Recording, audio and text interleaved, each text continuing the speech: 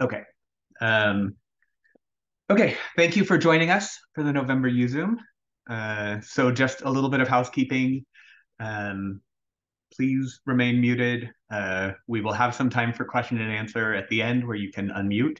Uh, in the meantime, you can put your questions in the chat and we will do our best to answer them throughout.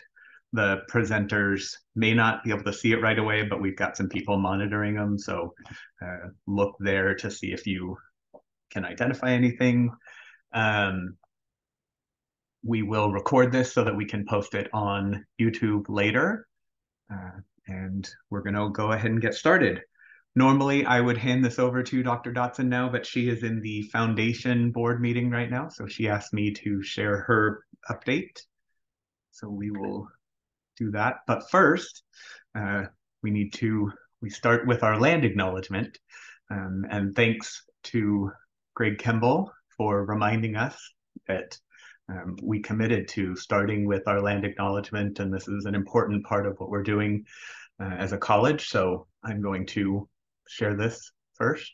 So we acknowledge that Yuba College sits on the unceded land of the Nisenan people. We recognize their ongoing connection to this region and commit to amplifying their voice to pursue federal recognition. We offer our respect to the elders and to all Nisenan people of the past, present, and future.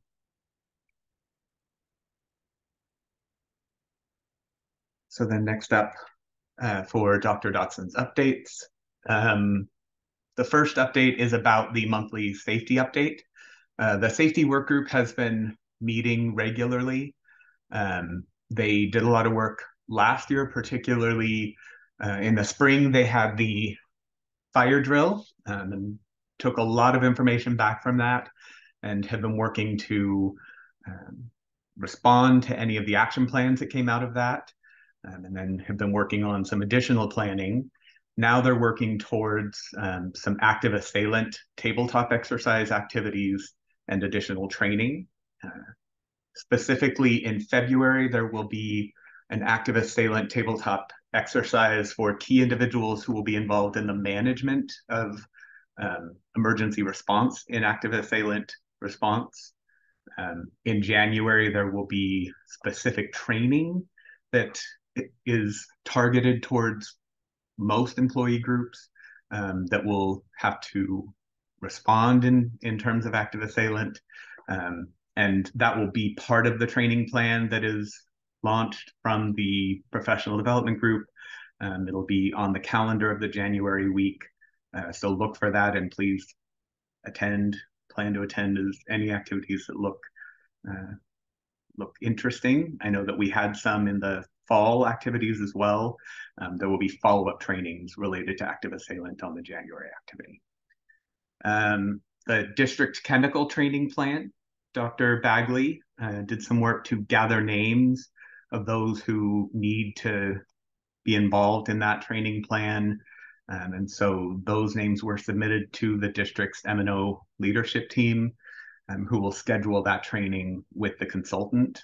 So look for that information if you have any questions about that, Dr. Bagley has most of the information uh, that we have available to us, so please reach out to him. Um, open door with the chancellor.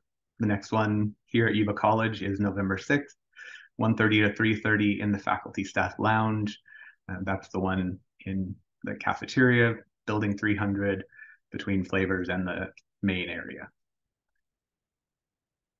The next slide um, so the facilities master planning process, the timeline is aiming for board approval in March or April of 2024. Um, right now, there's a student and employee survey out. That email should have come, or it did come from Mark Urban. Please make sure you look for that. If you did not get that email, please reach out to Mark Urban. It is out now. It's open for a total of three weeks. Uh, we're looking for as much feedback as possible.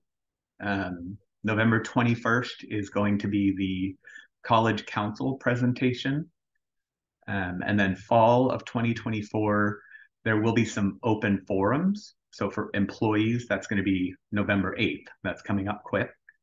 That's 2 to 4 p.m. Um, for the community, it'll be December 8th, 7.30 a.m. Um, and then in spring 2024, there's going to be a draft of that facilities master plan that's brought forward to College Council and then to DC3 and then brought forward to the board for approval. That brings me to my updates, instructionary updates. Summer fall 2024 scheduling is underway. Um, most of you should be involved, have already heard about that. Um, if you have any questions, please reach out to your dean. Uh, accreditation writing teams are getting started. College Council has been facilitating that work. We'll continue to facilitate that work.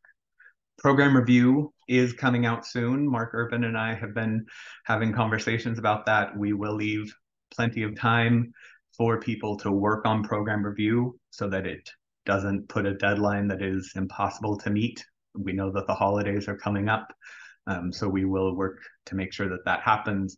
Um, I shared that I will uh, work on the timeline with um, Academic Senate President and JP, so the College Council Tri-Chairs will check in, uh, make sure that that works and it makes sense. Um, for curriculum, curriculum updates are still needed from those who are due this year. Uh, there is a tight time frame for getting updates in the catalog for next year.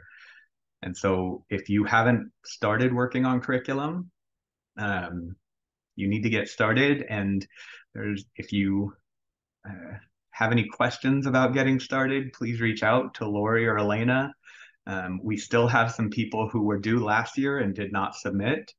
Uh, we'll be reaching out again, uh, but it's really important that that gets submitted uh, because there are ramifications for not submitting your curriculum on time. So please work on getting those submitted. And then welcome Dr. Tara Harlan Fontanoza, our new Director of Academic Excellence in the Office of Instruction, uh, working with Dean Christina Vanucci and our Tutoring and Learning Center um, great addition to the team. We're excited to have her join us. Uh, and I think next up, I am handing it over to our de department spotlight for instruction, and that is our librarian, Dr. Elena Flax. Hello, everybody. I wanted to share with you some things that have been happening in the library. Uh, we had some um, exciting uh, increase in um, library uh, reference research appointments, uh, three times um, as much we had um, this year for the July through September compared to last year. At Sutter, uh, circulation numbers have increased by 50%, 53%. We did some estimates uh, that students were able to save at least $40,000 through the loaning of print textbooks and calculators.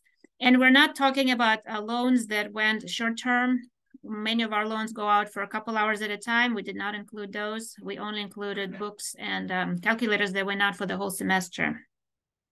We also have the interlibrary loan program, and that is a network of borrowing uh, between um, among libraries across the country. And we've loaned books to libraries in 12 different states and four different types of libraries, academic, state, public, and federal libraries.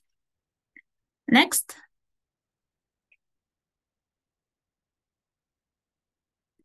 The library also supports the zero textbook cost efforts at the college. And when we get the textbook um, list, we check to see if there is a, a way for us to purchase um, an electronic copy of a textbook. Sometimes it's one license or two licenses or unlimited licenses. And we just added um, a section called e-reserves on the library catalog that allows students to see if um, an electronic textbook is available for their class. Most textbooks are not available to be purchased by the library as an ebook, but some are. So whenever it is possible, we make an effort to um, to buy those. And if it's an unlimited license, then students are able to, they would not have to purchase the textbook because it would be available to them through the library. You're welcome to uh, reach out to me uh, if you have any questions or uh, would like to, for me to, um, to help you with zero textbook cost efforts for your classes. And next is Dr. Teresh. Hi, everyone. So um, I'm just the opening act for the rest of my student services leaders who have important information to share with you. Uh, we have a share out from admissions and records. Um, and then we have lots of uh, program announcements and updates from the rest of our offices. A&R will provide a little bit more of a deep dive this month about their services, announcements and updates from um, multiple student services areas. We have lots of upcoming events that you'll hear about. And we also have some brand new employees that we're excited to um, introduce you to. So first up is um, Angel Munoz from Enrollment Services. Thank you, Dr. Tresh. Um, so first of all, I wanted to start out by uh, providing some uh, important upcoming dates. As many of you know, uh, November 9th is the last day to drop classes with the W. Um, November 13th, uh, we will be super busy and priority registration will begin. Uh, students should be able, uh, for those of for those students who were assigned a priority registration date, they should be able to go out into their self-service and see that. Uh, November 15th is the deadline to apply for fall 2023 graduation, and December 20th, grades will be due. Next slide, please. Also, uh, this month, we just wanted to provide you um, a brief update or um, just a brief list of just some of the services that we um, provide in admissions and records. We do serve students um, at the Marysville campus and the Sutter County Center. And these are a list of some of the things that we can assist students with, such as um, assisting with the application process, whether it be going to a computer and helping them uh, work through the application or reviewing it here and uh, seeing what they need to do, adding, dropping classes, um, updating residency status and helping them through the residency application, uh, transcripts. And I'm not going to go through the whole list, but um, you have it here. This is also available on our website. Um, and all of our services are currently provided in person via phone and we also have a zoom link where students can reach out to us in admissions and records and we can help them through any of these steps or processes next slide please and uh, finally, we have um, one of the things that we have been trying to do more intentionally is put out uh, different things that are happening. So our outreach have uh, has provided us some dates of some upcoming events uh, that they will be attending um, and assisting with. Uh, these can also be found on the weekly uh, updates, the emails that Dr. Dotson sends out to all of you. And if you guys have any questions, please feel free to reach out. Thank you. And with that, I will turn it over to Marcy Lang. Good afternoon, everyone. Um, you should all have received a DSPS survey in your email sent by our YC Director of Institutional Effectiveness, Mark Urban. The survey was designed by the California Community College's Chancellor's Office and is being sent to all employees in each of the California, California Community Colleges statewide. Um, if you haven't already completed it, please go back to that email again, 1025, uh, to find the link so that you can share your opinions about universal design and disability services. Uh, the survey takes less than five minutes to complete, and your participation will be greatly appreciated. Um, also want to announce that the DSPS See's Candies Student Scholarship Fundraiser just opened and you should receive an email with the link for ordering anytime. Um, please consider this an opportunity to purchase gifts for the holidays or to share a box of candy at gatherings and events over the next few months. Orders are shipped directly to you, and if you spend $70 or more, there's no delivery charge. So you might want to group your order with friends or coworkers to qualify for the free shipping. And we thank you for your support. And now I turn it over to Martine and financial aid. Good afternoon, everyone. Uh, I hope you have it. You've been having a very productive Wednesday. Um, so today, I just want to remind that the 24-25 FAFSA is changing. Uh, currently, we do not have a specific date as to when it's going to open in December, but once the information becomes available, it will be shared with all of you. Now, in order for us to assist students kind of learn about these changes, we have developed these workshops at the Marysville campus in the library in room 1131 and also at the Sutter Center in room 101. So please share this information with your students, encourage them to attend if they're able to. Uh, we'll be sharing the changes, how that's gonna impact them. and also to address any specific questions that they may have, okay? So if we go to the next slide. Now, we do understand that some of the students may not be able to attend uh, the workshops that we have developed. Uh, but we have also created on our website under announcements a, uh, a, list of information that is available for our students. Uh, we have a documents about the changes on the FAFSA, how to prepare for those changes, frequently ask questions about how those may impact the students. And then there's a 2425 Federal Student Aid Estimator. That link is not working because the Department of Ed is still finalizing that financial aid estimator tool. But once it's available, that, that link will, will go live. Um, so please encourage the students to, to either not able to attend to visit our website. Uh, if you can see on the right hand side bottom corner of the uh, screenshot, you, you see what it says financial aid TV or FATV. Uh, this link will, will take students to a, a, a few videos that talks about the FAFSA simplification and those changes so that students get familiar, okay? Now, we also have here our contact information. We have our phone number, email, we have a Zoom link. For any specific questions that the students may have, they're welcome to contact us and we'll be happy to talk to them and kind of share what are the next steps for them when the 24-25 FAFSA opens up. Okay, next slide, please.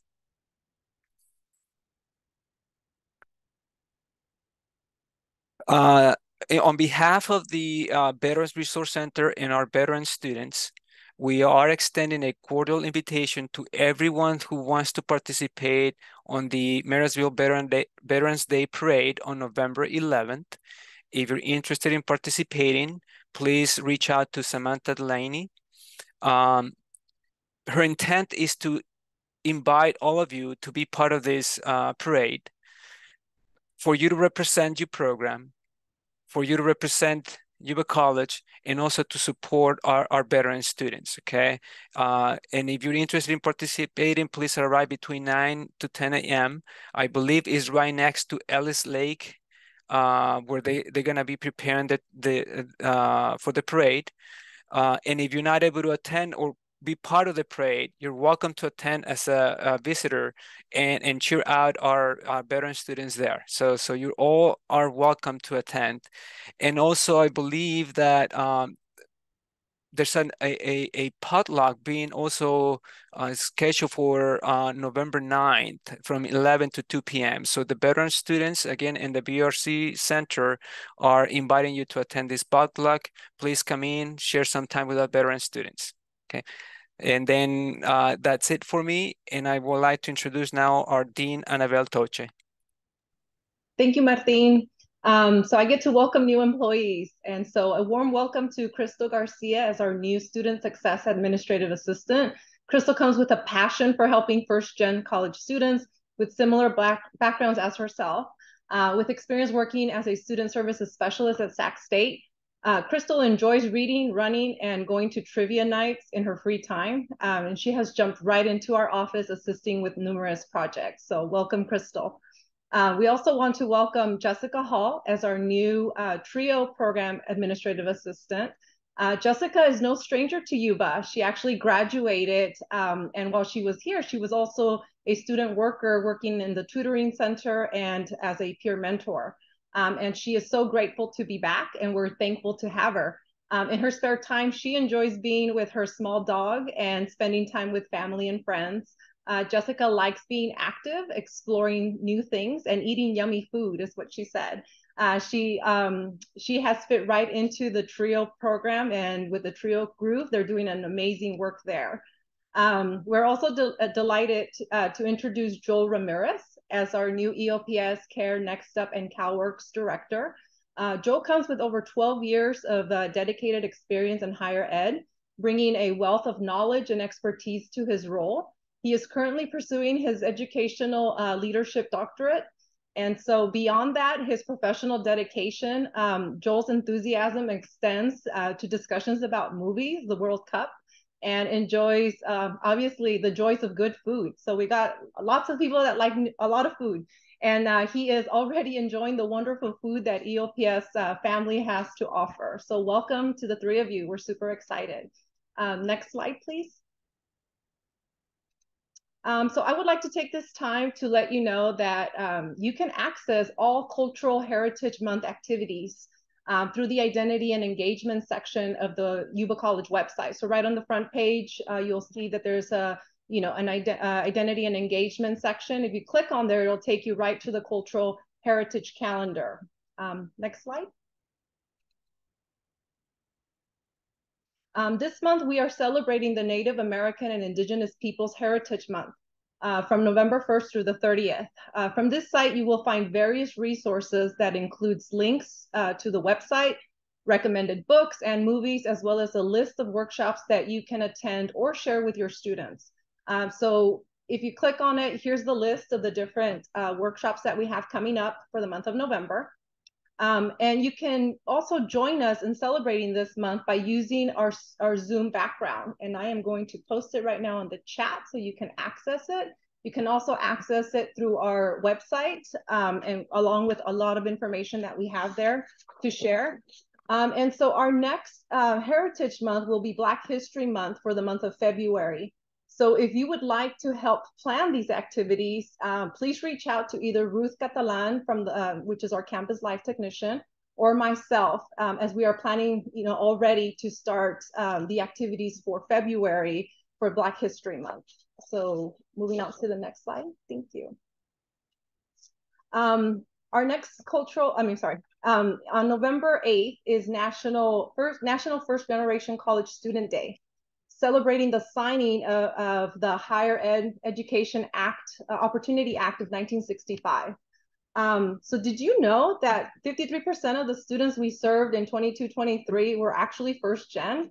Um, so to celebrate um, Yuba College students and employees who are the first gen in their families to go to college, um, the student support programs such as Campus Life, EOPS, Financial Aid, MESA, and TRIO are coming together to host an event on November 8th from 11 to 1 in the quad in the Marysville campus. Uh, we're providing information about financial aid, support programs, as well as having some fun, um, fun games and music.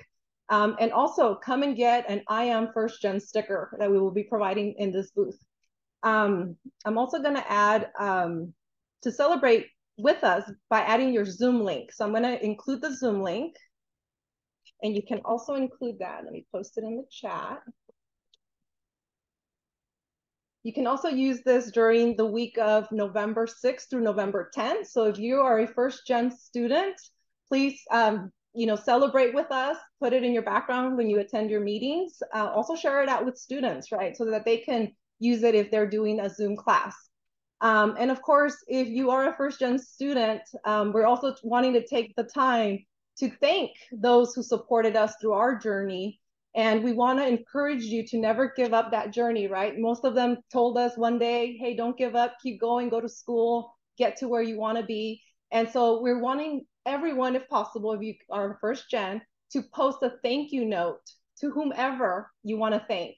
Um, so I will also include that in the chat right now. Uh, we're doing a Padlet so that you guys can include a thank you note.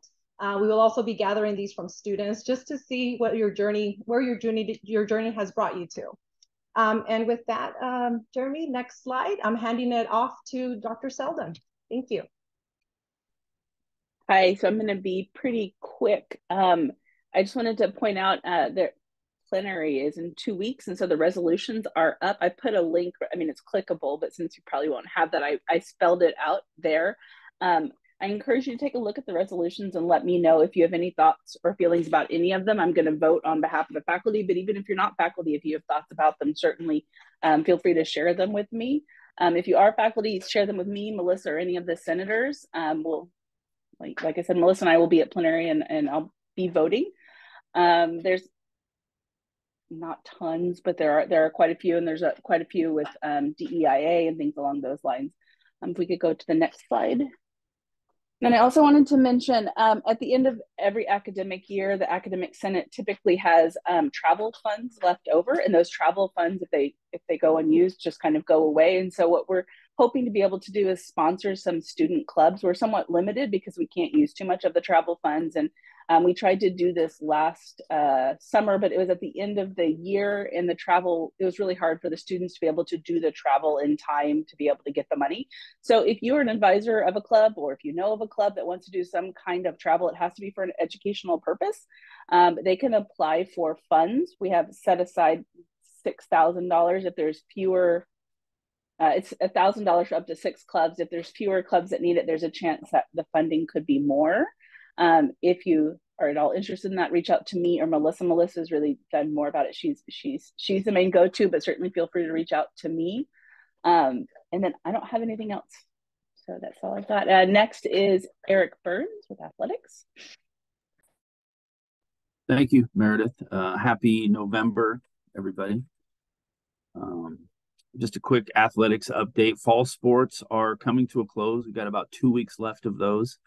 Uh, that includes um, women's volleyball, men's soccer uh, will be ending um, next week at some point. Neither team will make it to the playoffs. Football has three weeks left.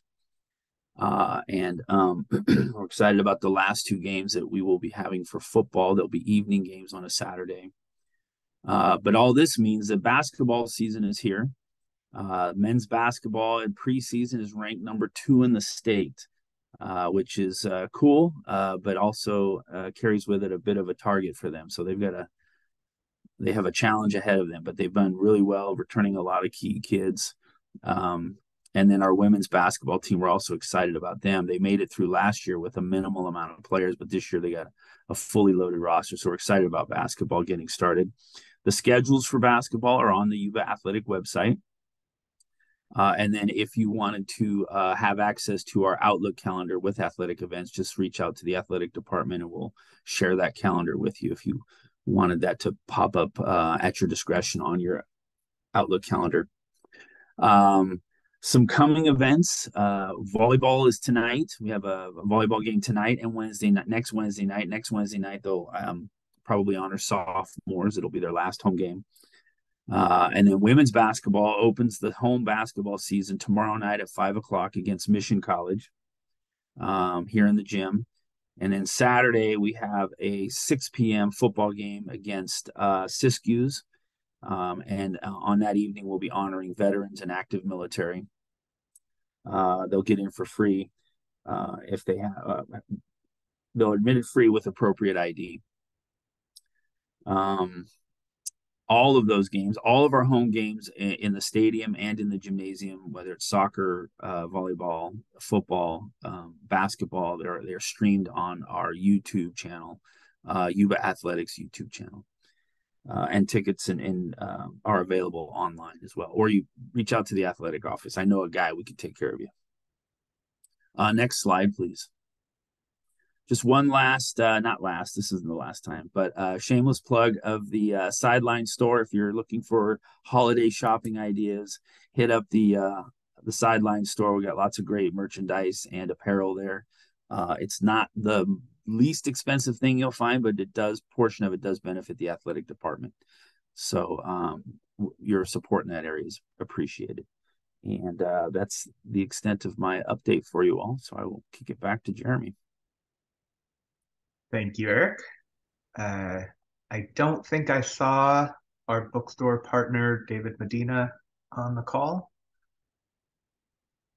I also don't think I saw anyone from the district. So that brings us to question and answer. Anyone have any questions? I'm not saying we'll have the answers.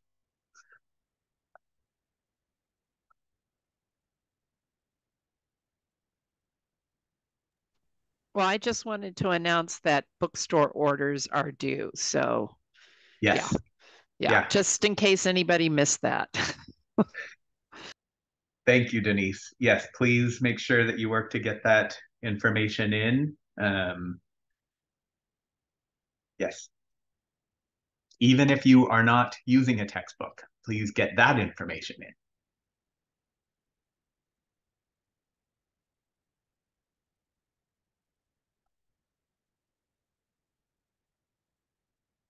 Okay, well, we'll be here for a few minutes. If you have questions, please feel free to raise them. Otherwise, have a great rest of your week.